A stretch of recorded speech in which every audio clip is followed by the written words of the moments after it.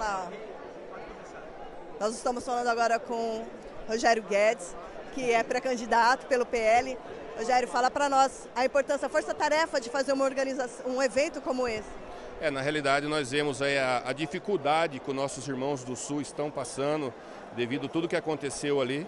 Tá? E nós começamos essa arrecadação já algum, alguns dias atrás, fora esse movimento do nosso presidente Bolsonaro. Eu, como o nosso presidente estava internado, não conseguiu fazer esse movimento de arrecadação antes, né? Agora ele saindo, que ele saiu do, do hospital, ele colocou que o estado de São Paulo foi escolhido seis cidades para fazer essa arrecadação para levar ali para os irmãos do Sul. E Rio Claro foi uma das que foi escolhida por ele, nós levamos para ele a cidade, ele tem um carinho muito grande pela cidade, acompanha o que vem acontecendo na cidade, então Rio Claro ele escolheu aí especialmente para estar nesse foco aí da arrecadação.